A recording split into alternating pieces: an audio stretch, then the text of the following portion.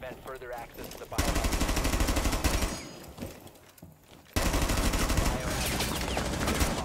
Take out the hostile.